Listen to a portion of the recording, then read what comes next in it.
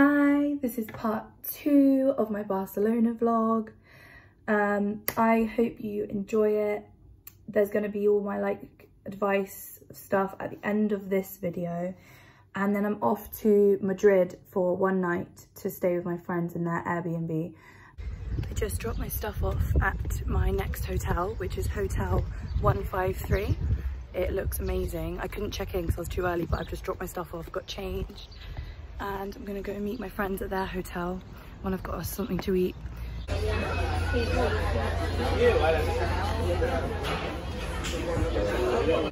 This is the Castelldefels beach.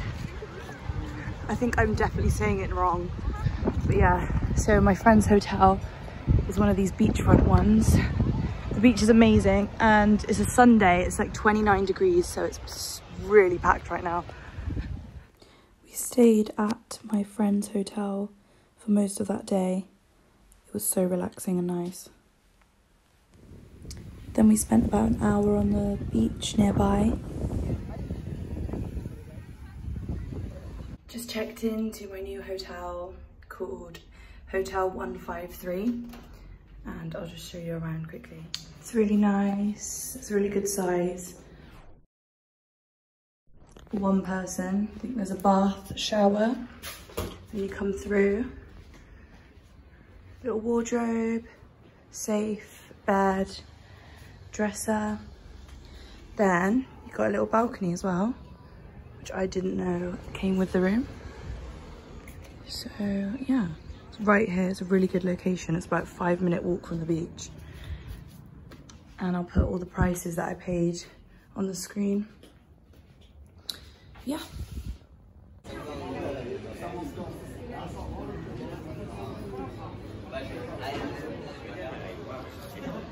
Good morning, it's the next day. I'm at my fourth hotel of this trip. I'm back in downtown Barcelona. I'm about a 30 minute walk from the beach. I am on the like main road of, well, it's like just off the main road. I think it's called Las Ramblas. Is it? Anyway, it's like a really like known road here to go to. I'm just off there. I got a taxi here. Um, I paid about 25 euros, I think it was. Um, I just had to because the public transport was going to take me about two hours and I couldn't be bothered. So yeah, I'm back in the best place in the central Barcelona. I'm going to have a beach day today and then tomorrow it's meant to be raining. So I'll see what I'm going to do. I think I'm to take myself on a date tonight, dress up all cute. Um, yeah, this hotel's really lovely. The check-in staff was so nice. I got here at 10 a.m., check-ins at 3 p.m. He was like, oh, we, we've got a, a better room than you reserved, so I'll just give you that room. I was like, okay. Um, so yeah, it's lovely. Um, and yeah, I'm gonna go get ready, go to the beach. Here's a little tour of the room. It cost me £192 for two nights, um, which is about 230 euros.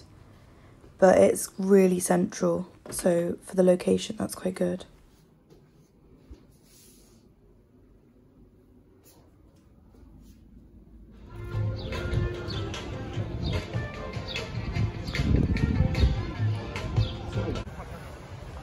Arrived at the beach.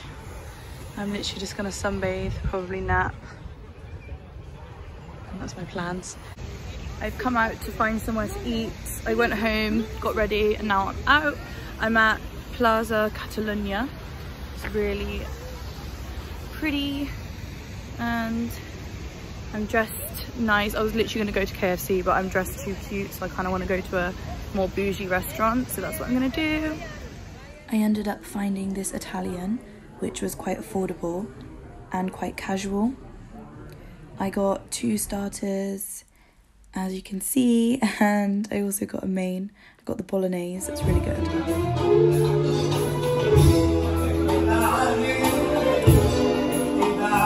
Good morning, it's the next day and it's due to rain today. It says the rain's meant to start in the next hour and be all day. So no beach day for me. Um, I was thinking to go to maybe the aquarium or a museum. Um, so my outfit today, I've got a hoodie ready. Also, I wanted to tie something around my waist anyway because a lot of the people are very, a lot of the men are very starey here. So I want to just, you know, try and cover up while I'm by myself. Um, so yeah, this area I'm in right now is a little bit, I wouldn't recommend it for solo travelers. but maybe with you with your friends it's fine but not solo especially female. Actually male as well because i did i saw a man get mugged yesterday around the corner from the hotel so that was fun. Um yeah so i'm gonna go get some breakfast i'll show you where i go and then i'll see where i end up because it's gonna rain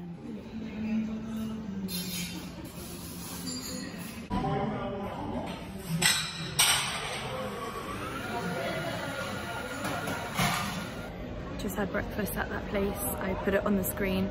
It was actually really affordable. It was six euros for a water cappuccino and that big massive pastry.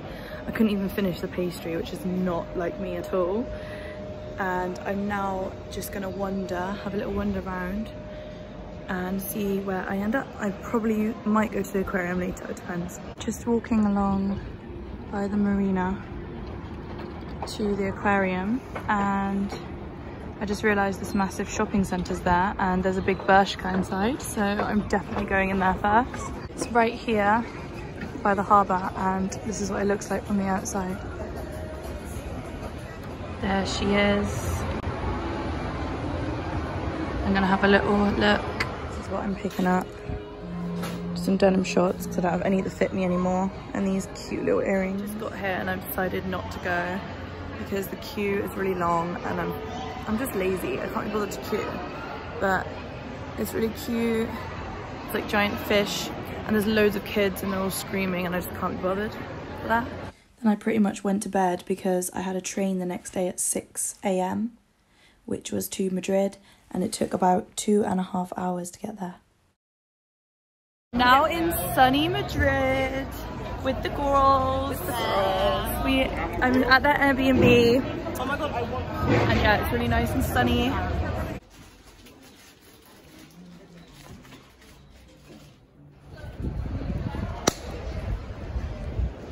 We've come to this market place. It's called Mercado de San Miguel. Wow, my pronunciation.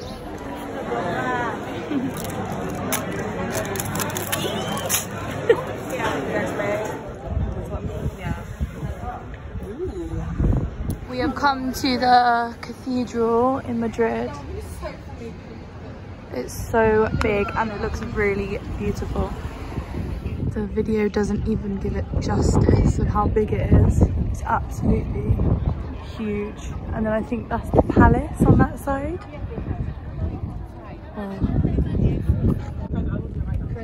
Got loads of cute pictures here. And if you want to see any more, there's some on my Instagram. We've just come to this restaurant called Bloom. It is absolutely magical. Look at this. Hi. so beautiful. It's all pink, so I love it. The birthday girl. Very happy. So the food comes in these extra plates and I mm. love it. To die for. So we got the pad thai. The food is to die for, no? no? and the cocktails are so extra. Just had our meal at Bloom and it was so nice. It was delicious. delicious. I would recommend it just for the aesthetics alone. It is beautiful go and check out my TikTok if you want to see more. The next day and we're getting empanadas for breakfast and then we're going to the Frida Kahlo exhibition. That's our day and then we're going home. We reached the Frida Kahlo exhibition after a kerfuffle trying to find it but we found it and we're here. Amor amarillo. Radio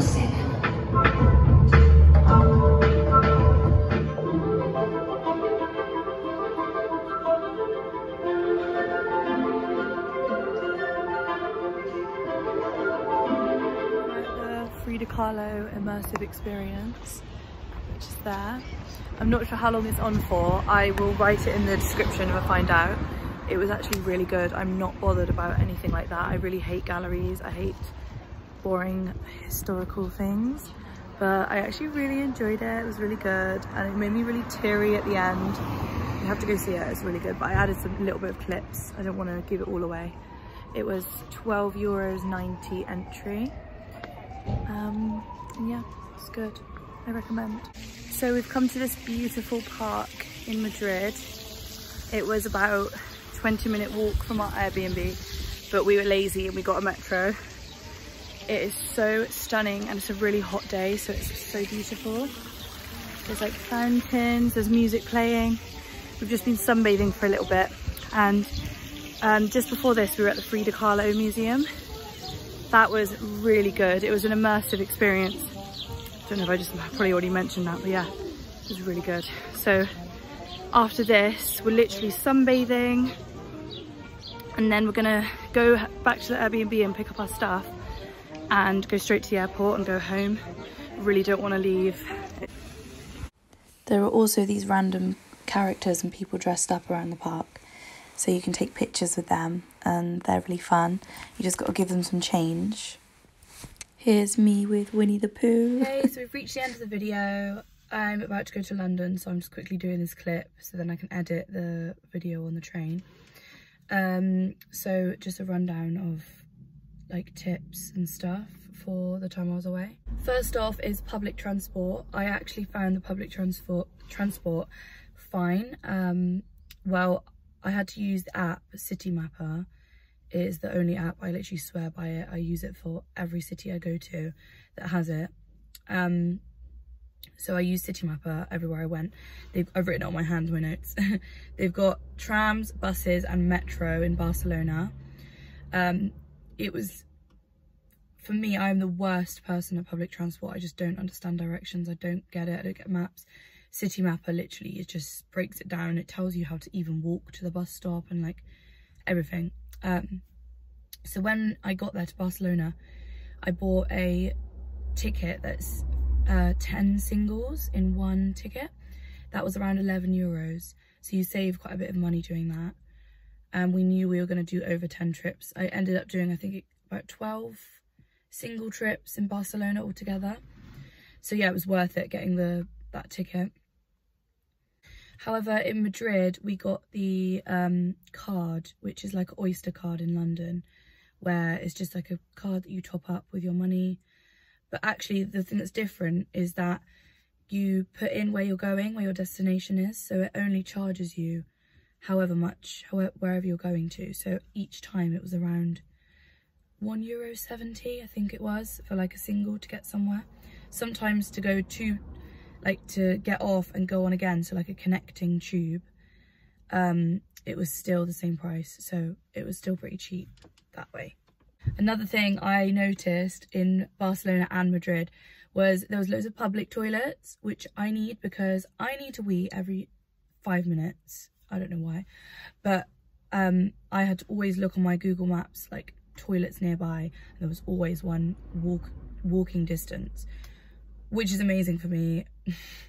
I know that's stupid, but it, we don't have a lot of public toilets in England. You have to kind of just go into restaurants and stuff. Oh, top tip for the toilets. Always have tissue on you. They, they're disgusting. Those toilets are disgusting. Have hand sanitizer and tissue on you at all times just it saved my life honestly. And i was the one that would be in the queue handing out tissues to all the girls because they realized that there wasn't toilet um, tissue in there so. And lastly did i find it safe to be in barcelona and madrid? Um, so in barcelona i felt so safe when i was with my friend. I was told always have your bag on you always be safe. I was thinking everyone's exaggerating like everyone's no one's gonna steal anything here However, when I was by myself, I actually saw somebody get mugged. Um, it was this like big man and he was the one that got mugged. Um, that was really scary because that was like a meter from me and I, yeah, I didn't like that. I walked home with my bag like this the rest of the way. I didn't like that. Um, so yeah, but when I was by myself, I felt much less safe. I think it was also the area I was in. I was in um, the Rambla area. So it was all these little side streets. You'll know if you've been there or if you go. It's so different to the rest of Barcelona. It's all like small streets and very easy to steal stuff basically. I don't think there was any security cameras anywhere. Not that that would have made a difference. In Madrid, I did feel safe. But again, I was with a group of girls and I did always have an eye on my bag. Like I would always be holding my bag and where the zip is on my bag, I'd always have my hand over it. But that's, I'm just paranoid anyway. Like even in England, I do that. So I wouldn't say it was, I didn't see anything like that happen in Madrid. However, it is a busy city and like any busy city, you know, you just got to be, use your common sense. So yeah, I would recommend both places for solo travelers 100%. But in Barcelona, don't stay in the Rambla area unless you're with somebody. Um, I do recommend the, the that five-star hotel I went to in Barcelona in my first vlog and the hostel we stayed at in the first vlog. 100% I'd I'd recommend them for solo travelers. So yeah, I really hope you enjoyed this video. If you haven't seen part one, watch part one. Yeah, thank you and see you next time.